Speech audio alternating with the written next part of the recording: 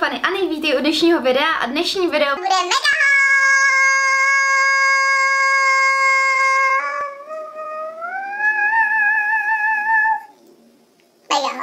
A v dnešním videu budu ukazovat hlavně věci, co jsem měla v lookbooku, aby jsem to jako rozebrala podrobnějš a pak mám tady i věci, které nebyly v lookbooku. Jako první tady mám Nike Air Juráče a jsou...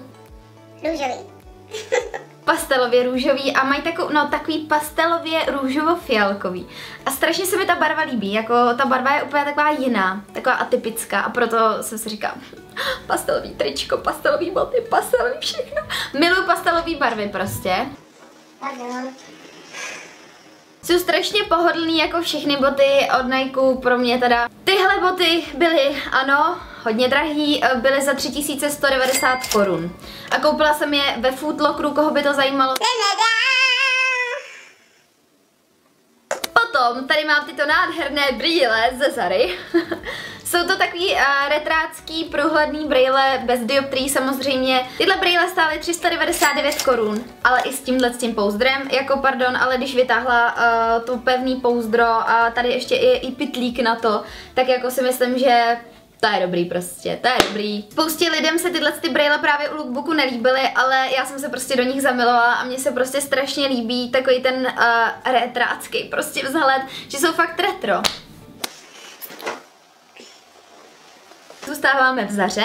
Uh, mám tady tyhle ty růžový rovný kalhoty ze Zary. Stály 799 korun a viděli jste v lookbooku u druhého outfitu. Jsou to vlastně rovně střižený, mají vysoký pás a dole u nohou jsou kratší, což jsem chtěla, protože jsem chtěla, aby mi byly vidět ponožky, na který samozřejmě za chvíli přejdeme. A jak jsem říkala, tady mám ty moje úplně úžasné ponožky, které jsou úplně jako strašně jiný, jo. Tím, tímhle jsou úplně obyčejný, ale nahoře vlastně, eh, když si to nandáte, tak mají takovou prostě... Plastovou růžovou neonovou sukínku, což chce snad každá holka. Víte, kolem nohy dvě růžový neonový sukínky. Tyhle ponožky jsou z Calzedonie a jsou za 169 korun a jsou prostě strašně střelený, jiný a přišlo mi, že prostě ke mně úplně laděj a jsou úplně Chtěla bych jenom podotknout, že toto video není sponzorováno žádnou značkou. Toto video je sponzorováno hlavně mojí maminkou, která mi spoustu, spoustu z těch věcí pořídila a potom samozřejmě eh, polovinu jsem si koupila. Tady mám sluneční brýle, které byly vlastně k druhému outfitu z lookbooku a jsou z New Yorkeru. Myslím, že stály 219 korun, tak nějak. Já jsem vlastně hledala nějaký hypízácký růžový kulatý brýle a tohle byly jediný, na který jsem narazila. Vím, že jsem ještě jedny hezký viděla v Mangu, ale ty byly podstatně dražší a říkala jsem si, že tam, že to chci mít jako proložený, že třeba něco bude dražší z těch outfitů, něco zase naopak fakt levný, takže jsem se to snažila nějak nakombinovat. A fakt přes ně člověk vidí růžově a to se mi strašně líbí, jako mít nasazený růžový brýle. Pak jsme byli v Beršce a to je vlastně tohleto tričko voce. Na něm je napsaný This isn't a designer t-shirt, but I like it. A to se mi strašně líbilo. Tohle tričko je vlastně takový jiný právě těma rukávama, který jsou takový jako, že velký a tři čtvrteční. A je to celý takový volně střížený, což já mám strašně ráda. Já úplně zbožňuju volné věci na sobě. A když jsem v něčem uplá celý den, tak pane bože, jak já se vždycky těším domů, abych se převlíkla. A tohle tričko z Beršky teda stálo 450 korun. Pak tady mám košili z Beršky, kterou jsem měla vlastně pod tímhle tím uh, topem. Omlouvám se, je špinavá od make-upu, protože já jsem v ní prostě jako no prostě je špinavá od make-upu. A je to vlastně kroplá, krátká košile do pasu, ale k vysokým kalhotům úplně úžasná a je to prostě klasická bílá košile, ještě navíc volně střížená s krátkýma rukávama, si myslím, že na léto jako úplně do velkých veder jako to, ale do tepla jako ideál, že to nemá dlouhý rukávy, což jako já v létě jako dlouhý rukávy moc nemám ráda. A tahle ta košile stála 350 korun, což je dobrá cena si myslím. 300 páďo, neber to. No a teď tady mám jako jeden z mých asi nejoblíbenějších kousků a to je tahle ta džínová bunda, na kterou jsem se dala nášivky, jako nažehlovací nášivky. Tak jdeme nejdřív k nášivkám. Ty nášivky jsou taky z beršky. Jedno platíčko, tak to bylo vlastně pohromadě ta pusinka, takový ty jakože srdíčkový věci, not heartbroken, tady ten nápis. Tyhle věci byly v jednom platíčku dohromady a to bylo za 250 korun a funguje to úplně jednoduše. Tu nášivku si dáte na to místo, kde ho chcete a je dobrý jediný, co doporučuju, to žehlit třeba přes hadr, protože se mi stalo třeba u toho mráčku, který tady jakože bleje duhu.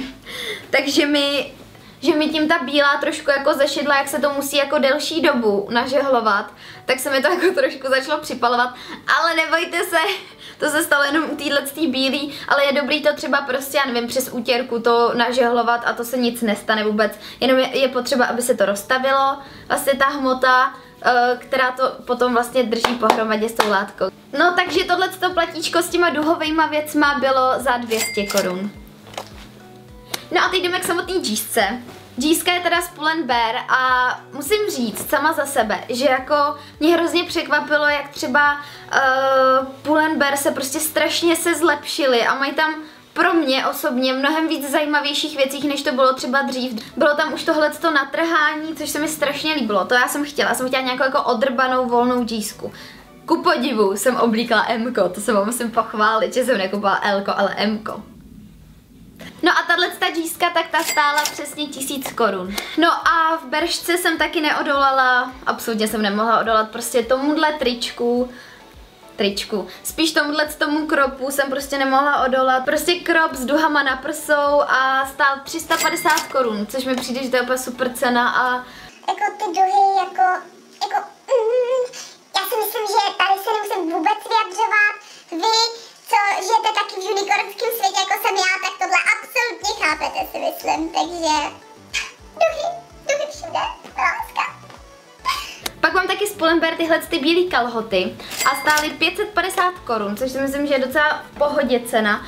Jsou klasicky uplí a mají takový uh, střední pas, jakože mě víc vyhovují vysoký pasy, když to je jako fakt nahoře, ale tady u těchhle těch mi to nějak zásadně úplně nevadí. No a teď jdeme vlastně k tomu třetímu modelu, který jsem tam měla. A já jsem si bohužel zapomněla sukni u mojí mamky, protože jsem se jí tam převlíkala a už jsem jí tam zapomněla. No každopádně ta sukně, já tady mám záběry, takže vám je pustím. Ta sukně je semišová a zepředu má stříbrný zip po celý dílce od hora až dolů, což se mi strašně líbí. Je takovýho toho jemného áčkového střihu a strašně zeštíhluje. Jinak teda ta sukně je z HMK a stála 600 korun tady tuhle tu malinkou kabelku, která se mi strašně líbí tou velikostí, že to je akorát na mobil, peněženku, klíče. Tři zásadní věci, které vždycky musím mít v kabelce. No a hrozně se mi samozřejmě líbily ty třásně, jak jinak, které jsou jako z jedné strany semišový, z druhé to je jakože taková koženka. Má to zlatý zip, což mně se strašně líbí samozřejmě jak jinak.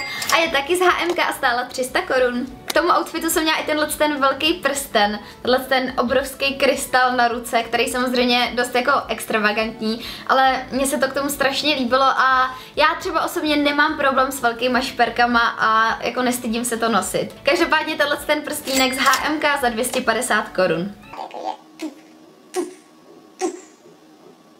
K tomu třetímu outfitu jsem měla tenhle ten top, který mě absolutně okouzlil, protože tady tohle to vystřižený na to rameno, že to rameno je vidět a přitom jako je ten člověk zahalený, tak mně se to strašně líbí, že to je takový jakoby sexy, ale přitom člověk ne, nemusí mít vejstřih prostě až k pupíku, jo, takže to se mi jako hrozně líbilo. Tenhle top je ze Zary a stál 400 korun.